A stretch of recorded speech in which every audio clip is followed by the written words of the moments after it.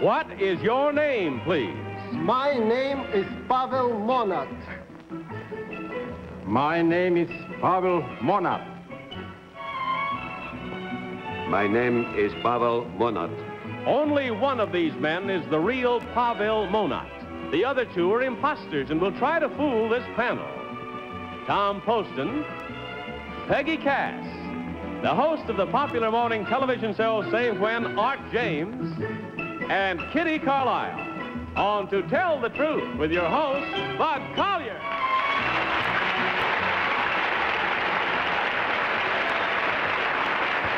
Thank you very much.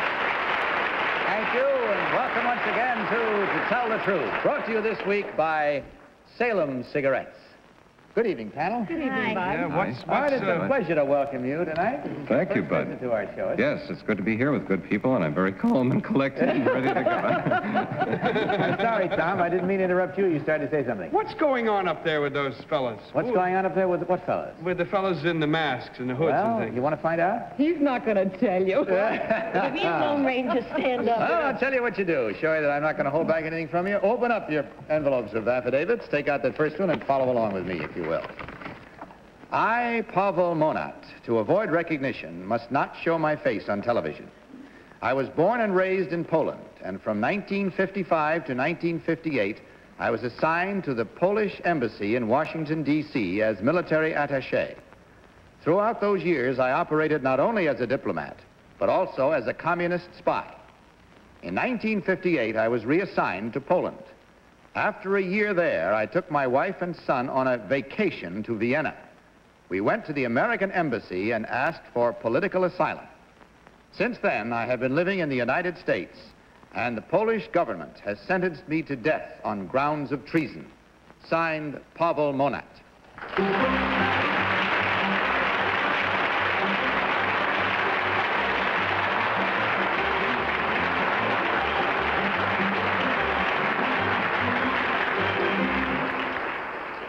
That explains the masks panel. These three gentlemen all claiming to be Pavel Monat, former communist spy. And we'll start this round of questioning with Peggy Cass. Peggy? Thank you. Uh, Mr. Monat, number one, you spied for Poland against the United States when you were attached to the embassy in Washington? Yes, I Thank- did. Thank you. Uh, Mr. Monat, number two, when you said you wanted asylum here, did they, they check up on you quite a bit? They did. I see. Um, number three, where is Lublin? Lublin? Yes, It's in Poland. thank you. Uh, number one, who is the premier of Poland? Uh, Mr. Uh, Cyrankiewicz. Thank you. Number two, what's kielbasa? Never heard. Uh, Art. First of all, I want to thank Peggy for asking half the questions I wrote down. but uh, anyway, number one, what is the, um, the worth of a zloty? Uh, I don't know exactly now. Uh, number two, what is the equivalent in the American exchange of a zloty? I don't know. Number three. I believe it's about uh, 14 cents. Number one, what is the, uh, what are some of the countries that encircled Poland? Um, it is Soviet Union. Uh, What province of the Soviet Union touches upon the eastern border of Poland? Uh, Number two, do you know the that? West? Touches of the eastern border. Did you On the eastern border of Eastern Poland, border yes. of Poland. That's the Baltics. Number three? Kitty. Uh, number three, did Paderewski ever hold a political position in Poland? Oh, yes. W- Will you tell me what it was? It was the premier. Uh, number two, who is Gomulka? He's the secretary of the party. Number one, when you took your wife and family on vacation, so-called, to Vienna, uh, was it a dangerous trip? It was. Number two, how did you make this trip? With train. By train. Uh, number three, were you stopped by anyone en route? No. And you were given asylum immediately? In effect. I'm sorry. In effect. In effect. Number one, who did you see in the American embassy in Vienna? I saw the military attaché and his assistant. Number two, did you see the ambassador? No. I saw Tom Poston. Tom?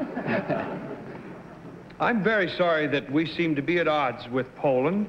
Now, at this time, I remember uh, that, that during the war, the Polish flyers were some of the finest flyers that, that were ever got into an airplane. here. here.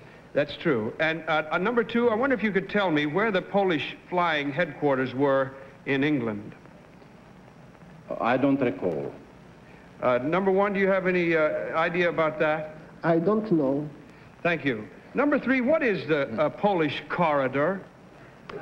It's a strip of the country. Uh, uh, when was that, uh, uh, uh, when did that exist, number three? Uh, since the First World War. Uh, number two, what was, thank you. That's it. Time is gone. No further time for questions. Just time to mark those ballots. So kindly do so, if you will, panel. Mark them at once and without change, and of course without consultation. None whatsoever. And mark as you go for number one, number two, or number three. Team of challengers will receive the customary $250 for every incorrect vote. All ballots marked? All right, Tom, for whom did you vote in this first round? I voted for number three because he looks like a man who would. uh, I I thought that the, the I I used uh, Mr. James' uh, uh, questions as my criterion. The other two didn't know some of the things that uh, Art asked, and uh, I thought number three did. Peggy. Uh, I voted for number three as well. See, that question I asked, that kielbasa is a sausage. But maybe I don't know the right name of it. But number three was the only one I didn't ask that question to. so I voted for him. All right, what is your selection? Uh, my questions were, um, my reason for selecting number three is based on uh, zloty primarily, the, um, the money thing. And, yes. Kitty. I voted for number three, too. Um, uh, based on the uh, question about who was the premier and about Paderewski, number three also knew the Zloty, I think. At least she gave an answer. so I voted for number three. All right, there we have it. Unanimous for number three. Let's get to the matter of the truth right now and learn which one of these gentlemen uh, is the former communist spy. So will the real Pavel Monat please stand up?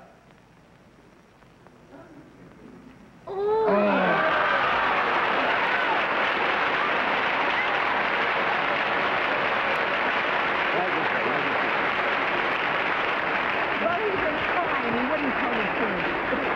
Now, if you are fascinated with uh, Pavel Monat's story as I am, you'll be interested to know that his book, uh, entitled Spy in the United States, Spy in the U.S., is published by Harper and Row. Now, number two, I'm sure you're not a communist spy, are you? No, sir. Well, then, would you uh, kindly take your mask off and tell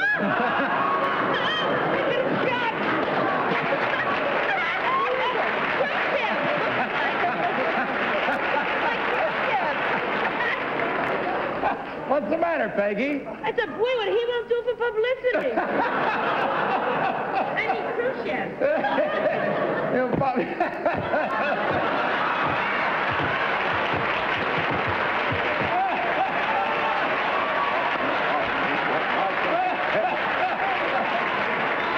Oh, that was great.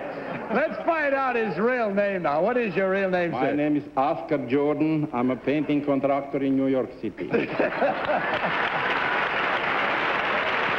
Oh, boy. Now, number three, you got all the votes. What is your real name, please? And what do you do? Uh, my name is Henry Morgan. Henry Morgan.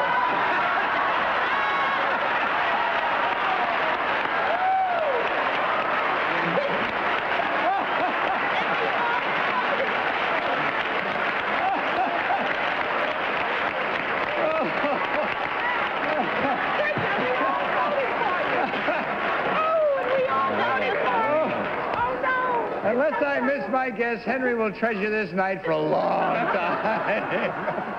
I The can night see it he- now, and I've got a secret. I was a communist spy, to tell the truth. the night he skunked the panel all the way. Beautiful job, Henry. Beautiful job, all of you. It was very nice.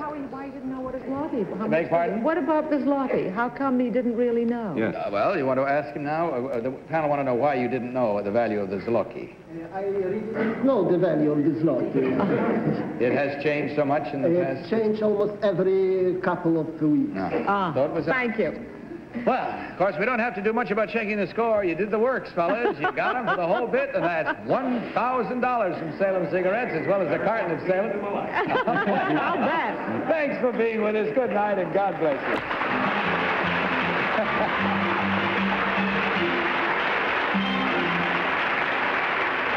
You know, even in the midst of winter, you are this close to springtime freshness. Now watch.